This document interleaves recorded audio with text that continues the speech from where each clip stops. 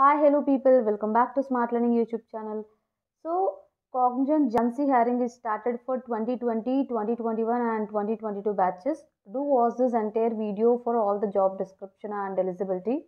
Simultaneously, Wipro of campus hiring is also going on for 2022 and 2023 batches. You can watch the previous video or else I'm providing that video link in this video description. According to your eligibility, apply for Wipro hiring as well and uh, if you are very new to our channel please do subscribe and hit the bell icon so that you will get notified whenever we post a video. Okay guys now let's get started. Now let me tell you the eligibility for cognizant GenC hiring.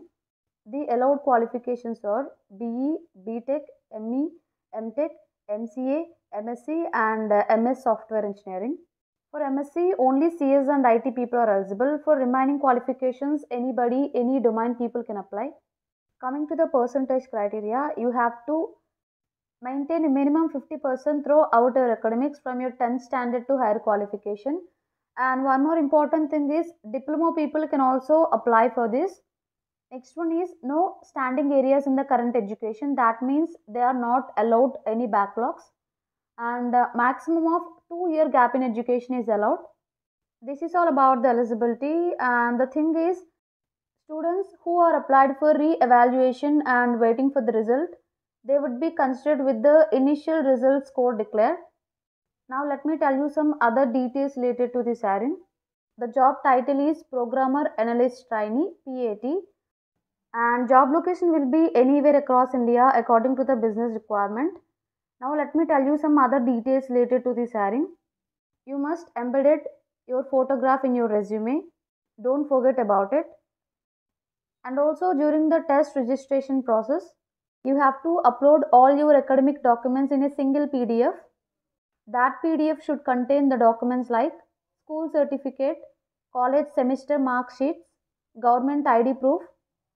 These are the necessary documents you need to merge into a single pdf if you clear the first round online assessment then you are eligible to take up the online interview. While attending this interview you have to ready with the documents which I am going to share now. First one is resume with maximum of two pages with high resolution of passport size photograph embedded and also that photograph should be within light background and both ears must be visible. Second one is all academic mark sheets and certificates for verification. Third one is Aadhaar card, PAN card and passport if available. These are the documents you need to keep in hand while attending the online interview. Now coming to the compensation details. The compensation will be 4 lakhs per annum and uh, after completion of probation period your compensation will be revised to 4.5 LPA. And one more important note is if you are selected then you'll be onboarded as a fresher and uh, no prior work experience will be considered even if you have up to one year experience or up to two years experience that experience will not be considered. You will be hired as a fresher.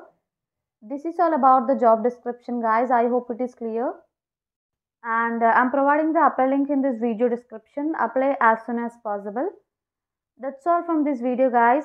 Stay tuned in our channel for more latest updates. If you like this video please like the video and do share the video. Don't forget to subscribe my channel Still, if you have any type of questions, feel free to reach us in our Instagram page or Telegram account. Links provided in the video description.